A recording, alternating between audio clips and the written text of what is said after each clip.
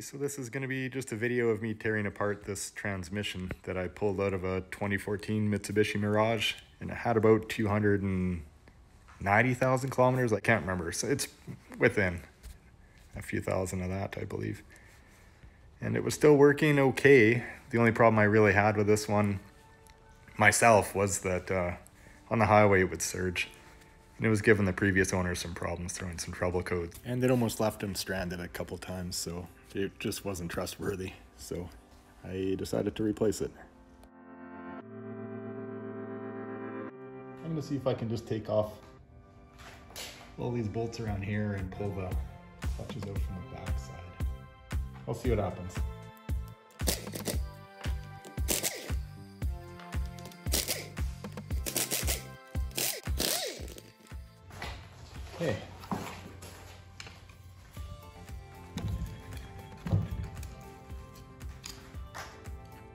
嗯。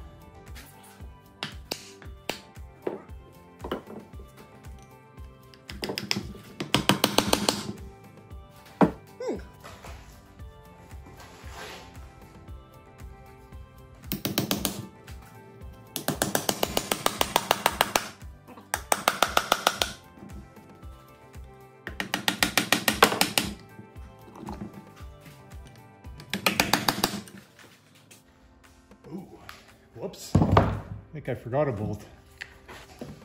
Oh no. Maybe that, uh, maybe that doesn't hold it in.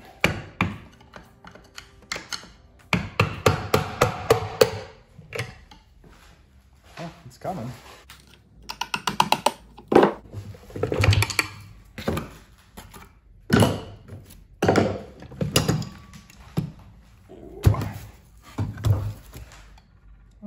Well, I've never taken it apart this way before. Yeah, so the other way you could take this apart is to just remove the cover. If you take those last, those two bolts where the yellow arrows are, if you take those out, you can remove just the outer cover and it'll leave the two clutches in place. So, there you go. Ooh, that sounds a little gritty. Oh no, maybe that's just the belt. Oh, there's lots of dust from uh, just tearing it out of there. Yeah, and some really light uh, wear marks in here.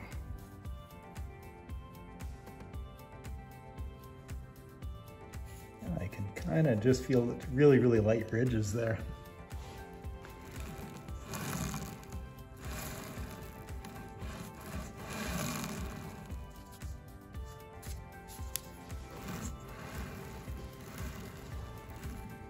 All right, so yeah, not much to it. Here you can see the belt. It's a steel belt, not a rubber one, obviously.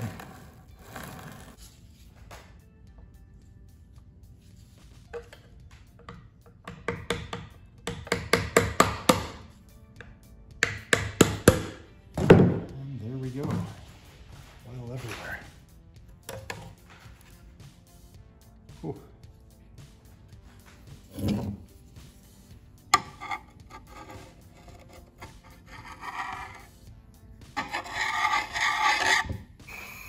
Let's pull the filter off here. This is just a metal screen filter in here. That's three 10 mil bolts that hold the filter in, and then uh, it's got an O-ring in it. This should come with it when you buy a new one. Oh, there we go. Just gonna dump this into the. So to get the valve body out of here, here's your shift rod. When you, uh, if I can find it, Move your shifter, that moves that rod inside the valve body. That must be 14. All right. So I will undo that. Yeah, so once you get that rod out of the way there, all, all you have to do is remove all the bolts that have uh, a number seven stamped on the head of them.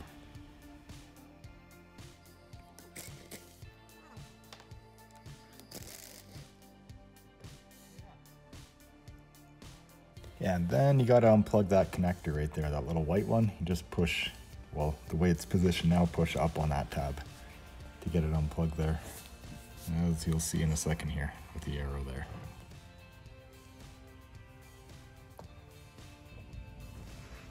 Okay, well, just a little bit of a better view.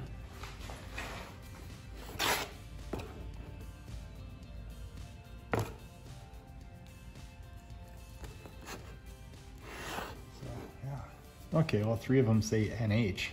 Use three, and this one says NL.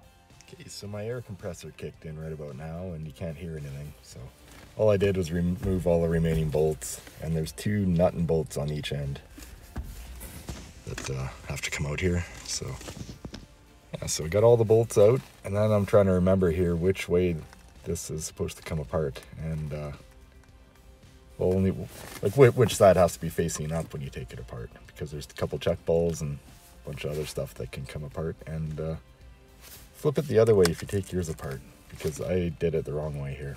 I've done it before and I couldn't remember which is which way. So the solenoid should be facing down and uh, if that makes sense there because there's two check balls that rolled away and and uh, all the little filters are poking up. But yeah, might help someone there, I guess. Yeah, so don't take it apart that way. There was two check balls here. I don't know where the other one went. This one, I believe, went uh, there. Or maybe it didn't. I don't know. But it looks like there's five of these little filters.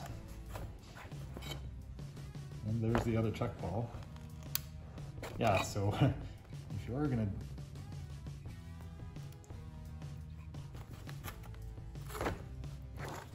So, you are gonna take uh, take one of these apart.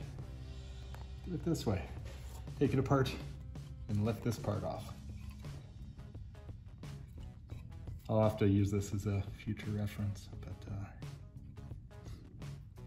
guess I should have looked back. Oh well. But yeah, here are these little screen filters. Just a little really fine, uh, fine mesh and I don't see anything in them. I'd love to see.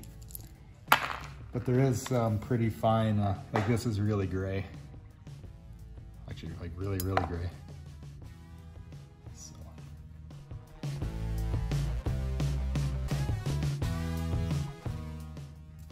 Oh yeah, that's the, that's the good stuff. I don't know. Like I said, I, I'm not a transmission. So let's just get those unplugged.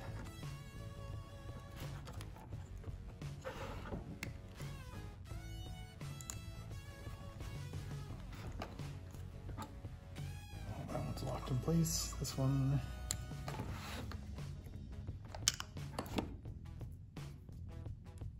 Yeah, well that's what that looks like.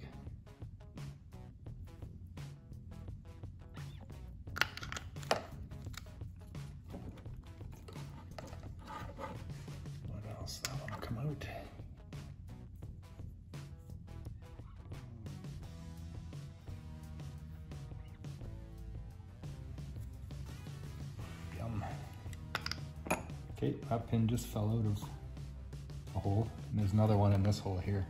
Little retaining pin, a roll, well, not roll pin, but that should. Okay,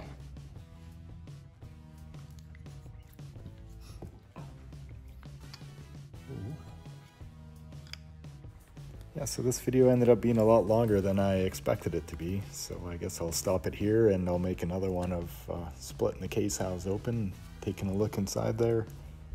As well, I'll add some pictures and talk a little about a lot of the failures I see in these things and uh, go from there. So thanks for watching.